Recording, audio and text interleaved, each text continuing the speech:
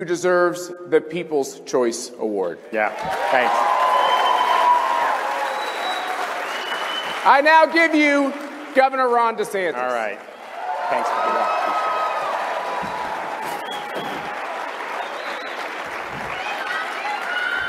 Well, thank you. We love you too.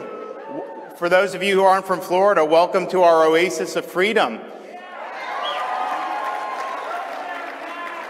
We are an oasis of freedom in a nation that's suffering in many parts of the country under the yoke of oppressive lockdowns. We look around in other parts of our country, and in far too many places, we see schools closed, businesses shuttered, and lives destroyed.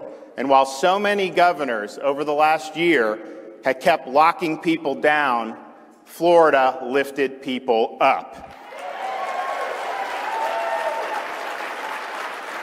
Florida is leading in protecting our vulnerable residents, saving the economy, and safeguarding the freedom of our people. In Florida, schools are open.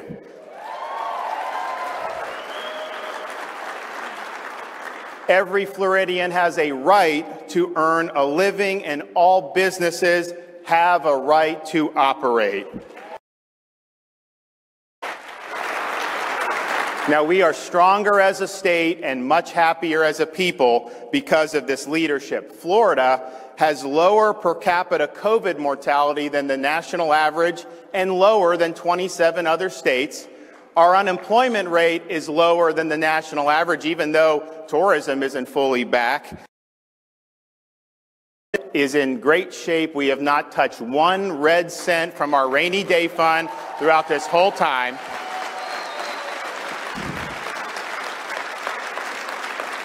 Florida got it right, and the lockdown states got it wrong.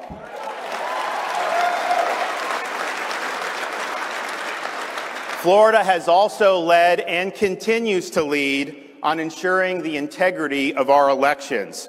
Now, 20 years ago, if you had uttered the word Florida and the word elections in the same sentence, you would have been met with snickers. Well, when I came into office, I didn't wait for a crisis. I took early action to make sure we'd have a smooth election. One of the first things I did was accept the resignation of Brenda Snipes as the supervisor of election in Broward County.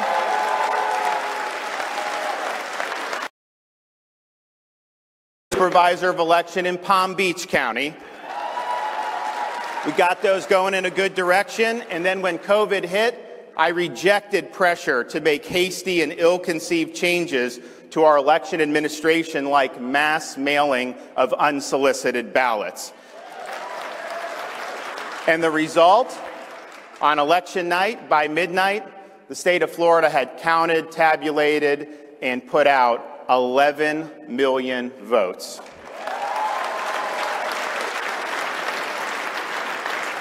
But we're not resting on our laurels. This year, Florida is leading on banning all forms of ballot harvesting and banning third party and banning third party political groups like those funded by billionaire Mark Zuckerberg from interfering in the administration of our elections. Bottom line is this in Florida, your vote counts, and we will continue to have a process that is transparent and that inspires confidence. Florida is also leading in protecting our people from political censorship and in holding big tech accountable. When our legislature convenes next month, it will pass and I will sign the most ambitious reforms yet proposed for, for combating political censorship and deplatforming, for preventing big tech from interfering in our elections, and for safeguarding the privacy of your personal data.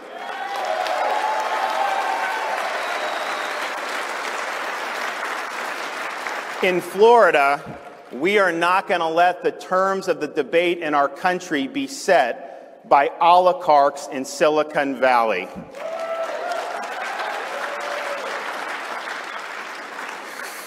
Now, Florida is leading on the issues that matter to conservatives. We don't spout hollow rhetoric, we take decisive action. And what's true in Florida is true for conservatives across the nation. We cannot, we will not go back to the days of the failed Republican establishment of yesteryear.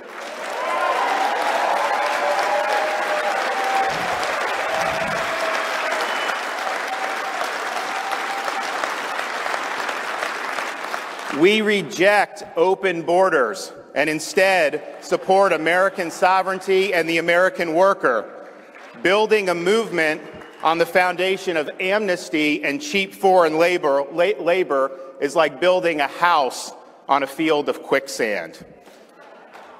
We reject weakness in the face of the threat posed by China, including their actions in international trade.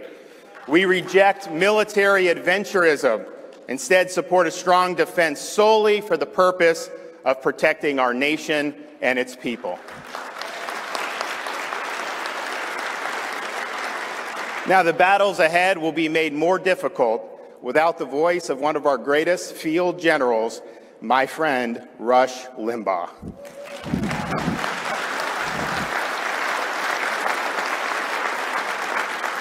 On Wednesday, the state of Florida had the flags flown at half staff in honor of Rush, in honor of his legacy. Rush displayed the courage of his convictions time and time again. Rush was one of the first to fight and win against cancel culture. Rush showed that fighting the left requires strength and that conservatism devoid of backbone is doomed to fail.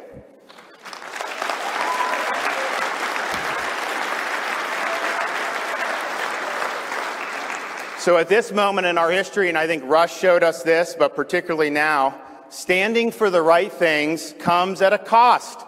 You will be attacked, you will be smeared, and you may even be canceled by the major organs of the political left. Now, anyone can spout conservative rhetoric. We can sit around and have academic debates about conservative policy. And I'm not saying you don't do any of that. But the question is when the Klieg lights get hot, when the left comes after you, will you stay strong or will you fold?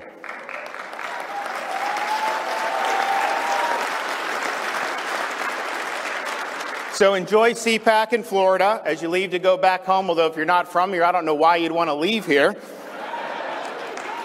but when you do and you engage in the battles ahead, hold the line, stand your ground, and don't ever, ever back down. Thank you.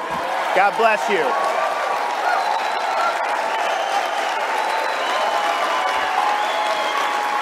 Thank you.